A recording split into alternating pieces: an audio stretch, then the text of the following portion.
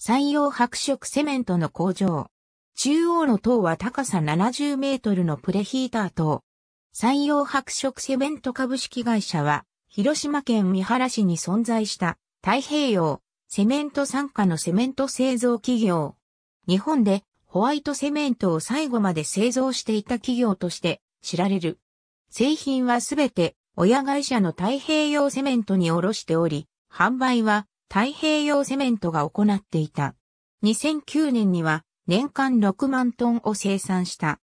前身となる日東セメントより長い歴史を持つ工場であり、三原界隈には元従業員も多く、OB 会として懐旋会が定期的に開催されていた。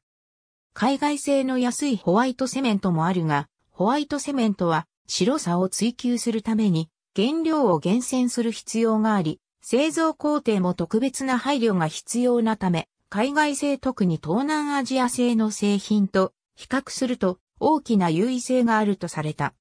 日本国内ではホワイトセメントの認知度が低く、現場でホワイトセメントが使われず、耐久性の低い塗装で白を表現することが多かった。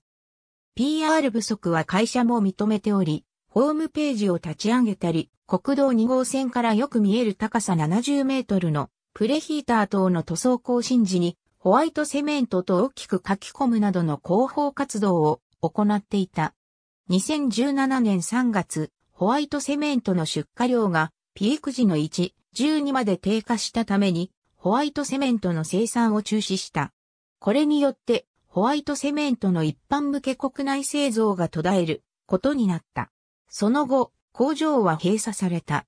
2017年2月14日、会社は生産され従業員はグループ企業に再配置された。